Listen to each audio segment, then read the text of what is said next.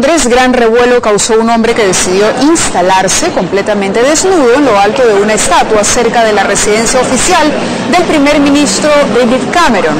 La policía acordonó la zona para alejar a los curiosos quienes atónitos miraban al sujeto adoptar distintas poses en la cabeza del monumento del príncipe Jorge, famoso militar del siglo XIX. Luego de tres horas la policía consiguió bajarlo y lo llevó detenido en virtud de una ley sobre la salud mental.